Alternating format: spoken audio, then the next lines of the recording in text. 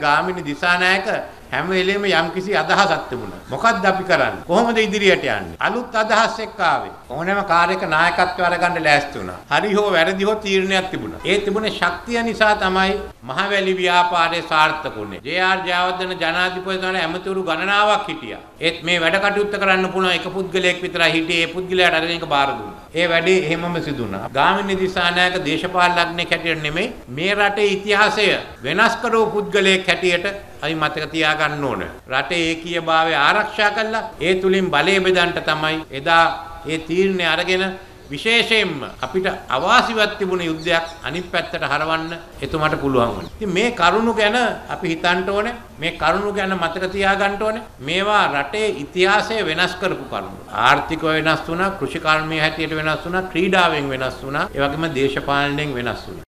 එක්සත් ජාතික පක්ෂයේ නායකත්වය ලබාගෙන එතුමා අපගේ මාතෘභූමිය දකුණු ආසියාවේ දියුණුම රට බවට පරිවර්තනය කරන්න ගත්ත උත්සාහය අසාර්ථක වුණා. අපිට බැරි වුණා ඒ ඉලක්කයට යන්න. නමුත් විශේෂයෙන්ම මම හා මාගේ සහෝදරයා අපි මේ සිහිනය අත්හැරලා නැහැ. අපි ඒ සිහිනය කවදා හරි සැබෑ කරන්න තමයි අපි දෙන්නම දේශපාලනය කරන්නේ. දේශපාලන ඉතාමත් අමාරු ගමනක්.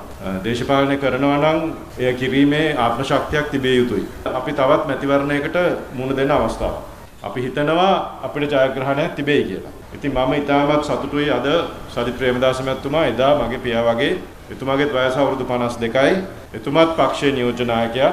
එතුමත් පක්ෂයේ ප්‍රබල ඇමතිවරයෙක්. කාරණා තුනක් මගේ පියා වගේම සමාන්තර කාරණා තුනක් තිබෙනවා.